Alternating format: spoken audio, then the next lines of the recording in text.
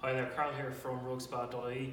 We have just finished a major clean on a massive Iranian Tabriz wool and silk rug on silk, warp and weft, an extremely fine rug with roughly 1 million knots per square meter uh, density. That means for every square meter of this rug there is 1 million hand knots in the rug, an extremely fine rug that needs uh, lots of care and attention when cleaning.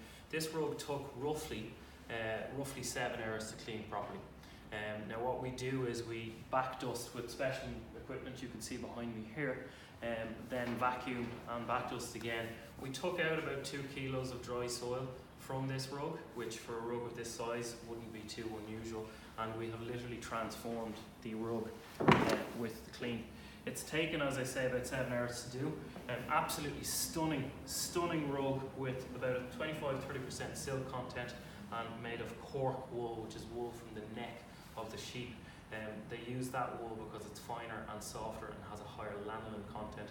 That's quite pertinent for our purposes because during cleaning we need to be sympathetic to that lanolin. That's the wool's protective oil and we don't want to remove that from a rug such as this during cleaning. The silk content as well needs to be hand finished and the rug needs to be put into a pH state that uh, is sympathetic to the wool and silk, which is roughly 6 to 6.5. So we test that um, and, and slightly acidify the rug after cleaning. Um, it, it takes a long time to do these because we need to individually test all of these colours for dye bleed, make sure that everything is stable. Thankfully it was with this rug. It wasn't a simple clean by any means, but it, it was an enjoyable clean. There was no problems with it. One or two stains in the field here that I'm, I'm, I'm sitting in, um, nothing hectic. The rug itself visually um, has come alive. It's changed colour during the clean. These, uh, these um, uh, creams were quite muted and grey because of the dirt in the rug.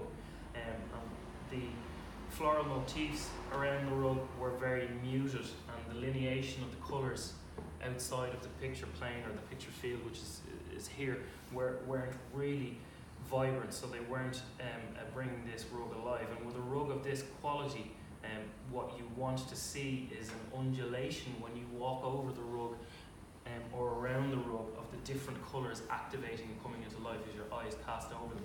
So that's what we specialise in here at Rug Spa, is taking a rug like this and making it look like it should.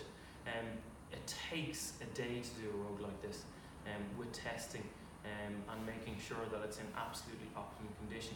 We've then put two coats of fabric protectant onto the rug and a coat of moth proof. There's a big problem in Ireland at the moment, carpet moth eating wool and silk. So we want to make sure that this rug, which last a lifetime. I've seen rugs like this, this finally made 150 years old and more.